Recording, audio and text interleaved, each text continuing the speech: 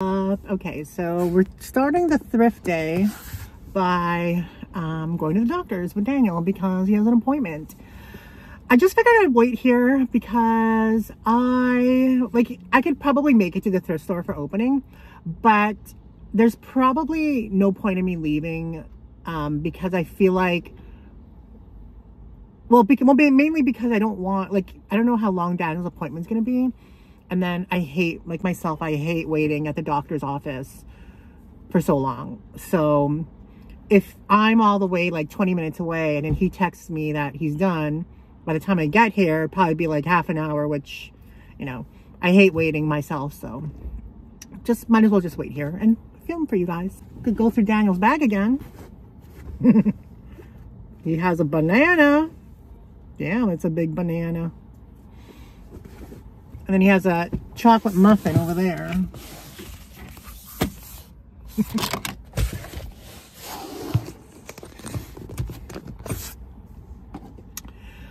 Anywho. I don't know if my mood has been better or I don't think it's worse, but I don't know. Sometimes I feel just, yeah, like just empty and it's kind of like that's my answer. It's kind of like that. This is one of my biggest pet peeves is when like putting water in a pop bottle I, I don't know something about that triggers me. Because I remember as a kid I think my mom or my grandma used to do that and I would just like it would just be so wrong to me. I'd be like why is there water in a pop bottle Pop has been sitting in that bottle for like months or years. And then the and then it's always the water has like a taste of pop. So I think that's why I'm like scarred about it.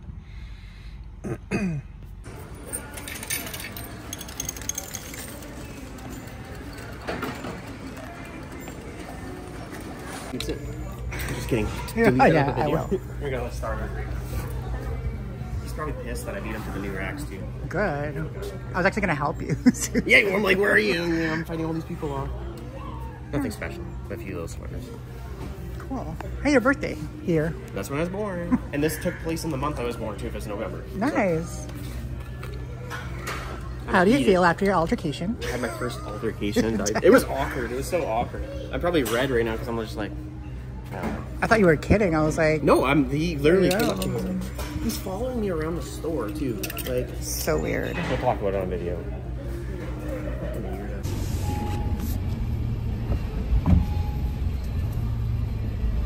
Hi guys, I just punched somebody in the face at Value Village. no.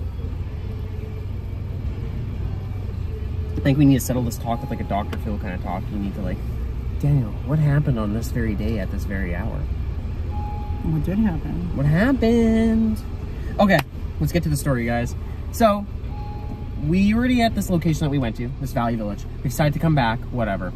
Um, maybe like, what, 20 minutes in between? Who cares? So, Ashley's eating Taco Bell in the car. Vegan. Shh. Vegan Taco Bell. And I decide to go in, like I usually do. She usually sits in the car for a minute. I'm going in, I'm walking around, some younger kids around, whatever. Teenagers buying the clothing and all that. And then I'm looking around and this kid is like sort of following me. Like he looks like a reseller and he's like looking me up and down and he's following me now. I'm like just walking around looking at the clothing and he follows me all the way to the back end of clothing and he gets on the other aisle. He doesn't come down my same aisle. And um, he he's like, you're Daniel, right? And I'm like, like first of all, I was like, I didn't even want to say I was. It's just sort of weird. It just felt off, you know? I said, yes. And he's like, and I'm, oh, and then right after, right after I said yes, and I'm like, hang on, there's a wasp.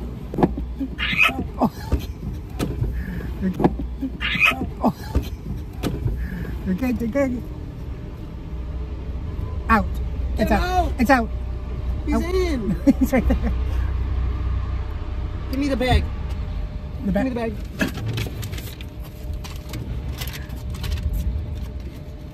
He's in.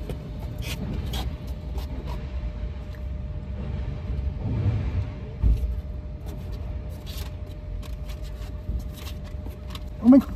Are you chasing me? I shouldn't laugh because Close our windows. close it. Okay. Close them all. Holy moly! You probably saw me running behind the car. Sunroof. Woo-hoo! That guy almost bit, my ankle. Where were we? the story. Um.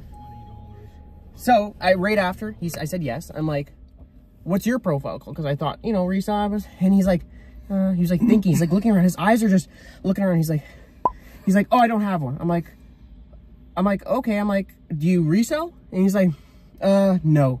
I'm like, bro, you look like a reseller. You're looking after all the new He was a racks. reseller. And he's following these racks. So I'm still shopping. Another new rack comes out. I go to it. He's behind me. I look through it. And I get whatever. He, um, then approaches me again, but on another side of an aisle. Like, we're two aisles apart. And he's like, okay, can I ask you something? And I'm like, sure. And then everyone was beside me talking, like, let me come to your aisle, I told him. I'm like, let me come around. And it's the aisle that I saw you in. Yes, I went around. He was on the other aisle. I'm like, let me come talk to you guys.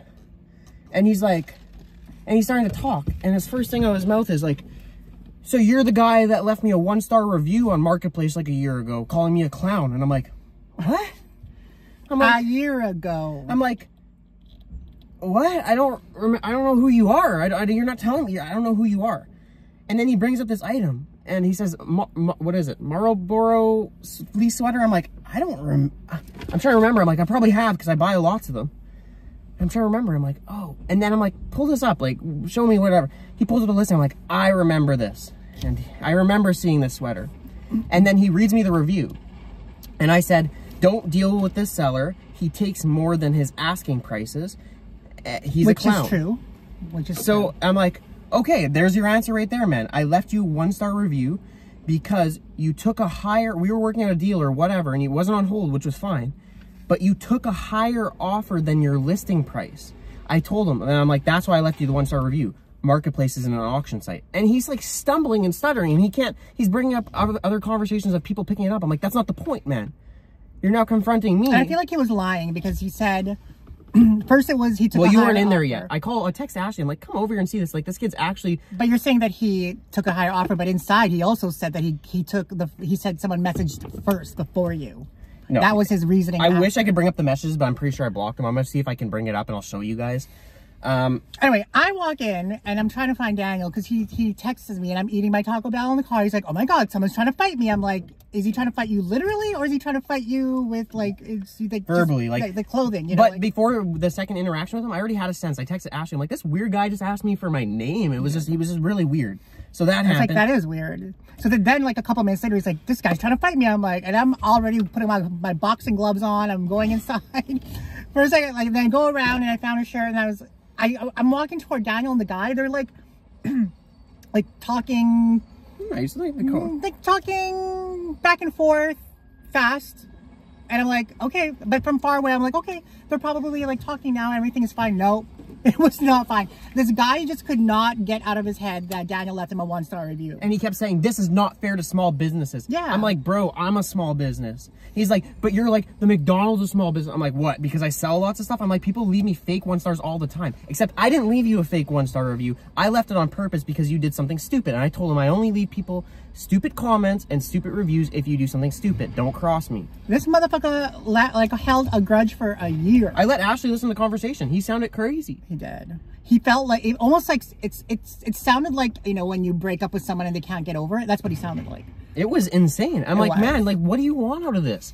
I even offered to take down the re- review, and he's like, you can't. I'm like, you can. I bet I'm like, I probably have you blocked. but then after that happened he said something condescending Yeah, you he said something. He made a comment like this. He's like, "Well, I always see your ad because I see your eighty dollar Carhartt pants," and I'm like, "Whoa!" So somebody's taking a jab at my pricing now. So He's like, he's- no, I'm being specific. He just had that tone of like snarky, you know. It's like that's what. and he like. and it and he didn't need to add the price. No. He could say, "I see you're you selling sweaters all the time, sweatshirts, this brand." No, he need to add in the 80. So you can tell he's holding some jealousy or grudge or something underneath. And I told him, I don't remember who I leave one star. I don't even know who you are. I talk to dozens of people a day.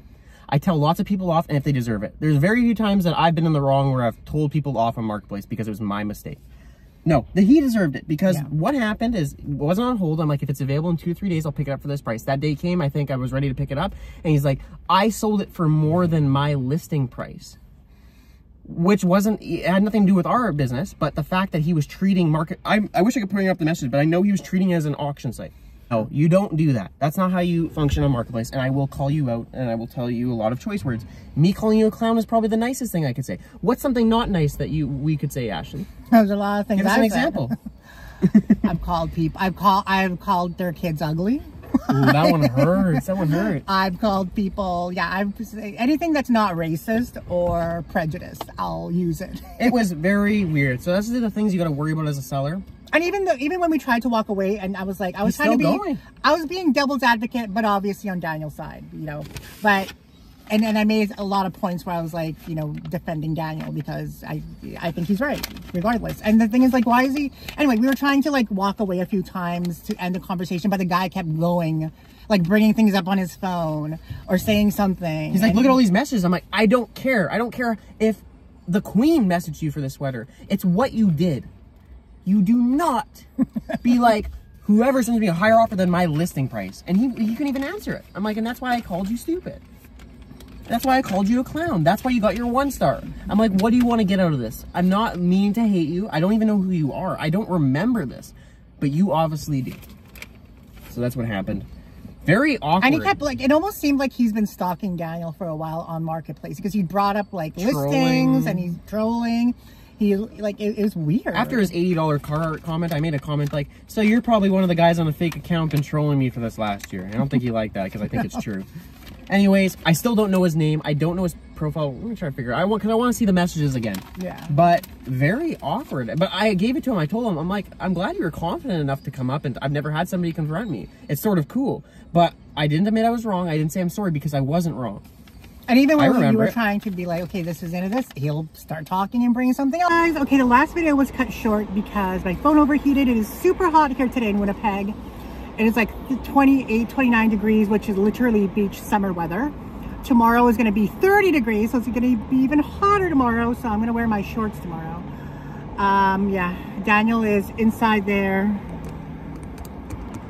cohorting, fraternizing with my arch nemesis, whatever. but um, but yeah, so it was kind of a slow day today. Didn't pick anything up. I picked a few things up for my mom that she needed from the thrift store, and then I got this little um, this little beautiful Estee Lauder purse kind of thing which is funny because it's also where we got the other beautiful Estee Lauder perfume. Um, I paid six dollars for that one. This one was three dollars. We sold the other one for thirty, I think. So that was a good find. And then we didn't find anything all day. It was pretty much like a Daniel day. He got a bunch of stuff. Like, look at this. Come on, you guys need to buy from Daniel. Support our Daniel. Look how cute this looks for Christmas, right?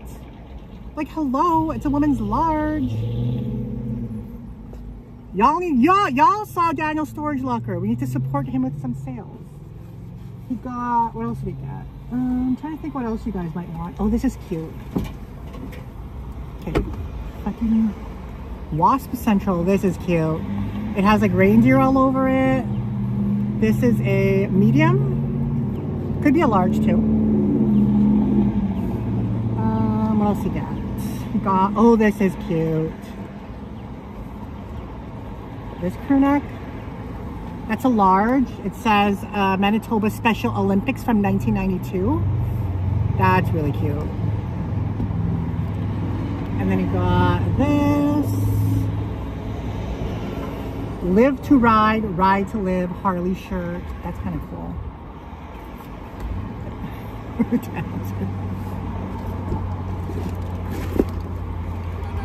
oh, you're not? Do you have any donations? I do. I have a lot in the trunk. Okay. Is there a specific one I should grab?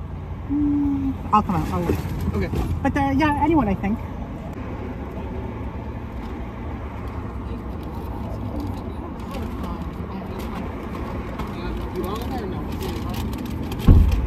That's fine.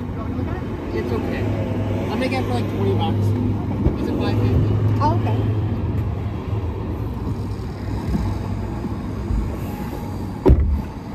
Sorry, Daniel needed donations. I need to tie my hair because it is hot AF.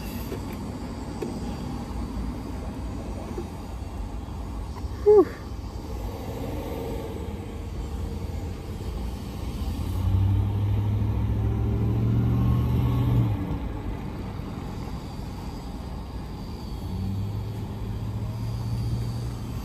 Okay, so, oh, sorry, okay.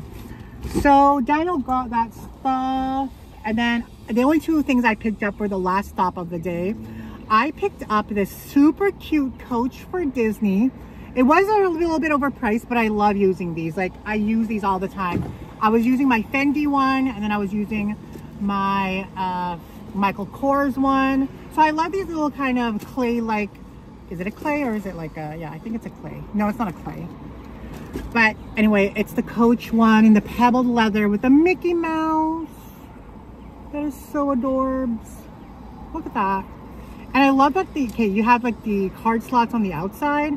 One, two, three card slots on the outside. Then here it says like Coach, and then the inside has like the Creed. Usually these small SLGs don't have the Creed unless it's like a boutique piece. I'm trying to figure out what it says. Um,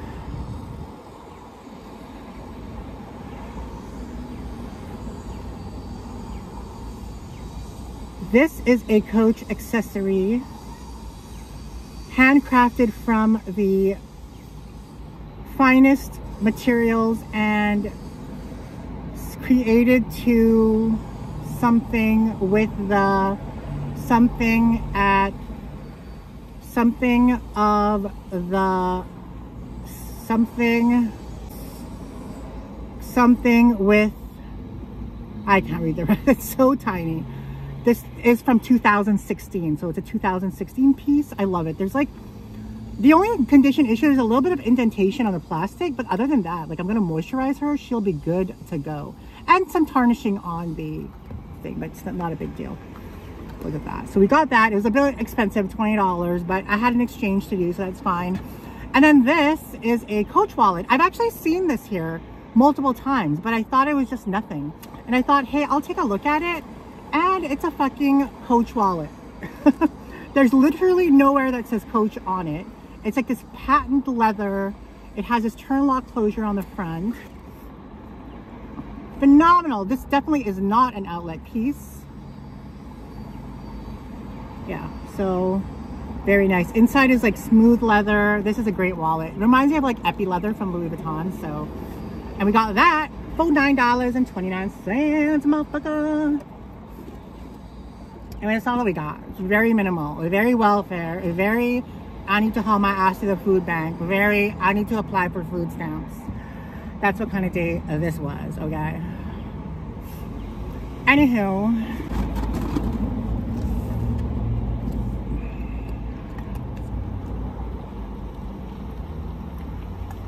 it was kind of funny. I was at Starbucks and I ordered my brown sugar oat shaken espresso, but the welfare version for four dollars. Totally fucked it up. So literally my drink was this much. I don't know what, I, I know I clicked something that I wasn't supposed to.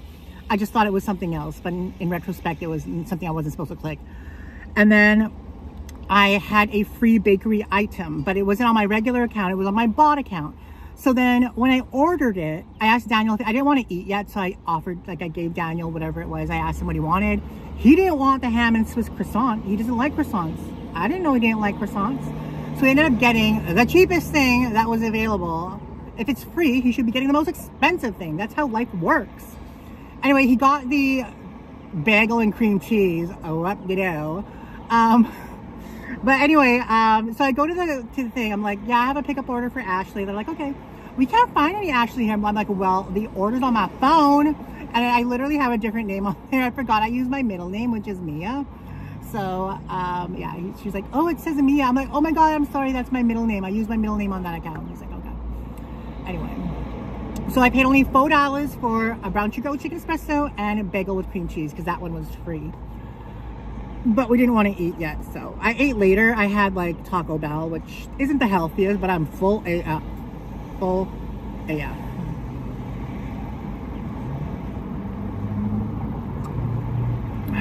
anyway hopefully tomorrow will be a little bit more productive um, we will be doing our regular route and i hope we found some good shit because i'm actually in a kind of cleansing mode I'm kind of, I'm trying to um, reorganize my entire apartment. I got to get shit out. I'm to give a lot of shit to Daniel for free because we homies. and just things that have been sitting, things I don't want to be bothered with, things that are just stressing me out because they've been sitting for so long. I'm gonna hightail it over to Daniels and he can have it and he can sell it and make money. And so I'm really, really, really picky with what I pick up now. Like I'm super picky. Like unless it's a super good deal, um, some an item that's super cheap but resells for super expensive, I am picking it up. And yeah, I just returned that Michael Kors dirty bag. I don't think yet, I don't think I uploaded that video. I think I forgot about it, but I thrifted this Michael Kors bag for 30 bucks and it was a really nice bag, but it was so dirty inside.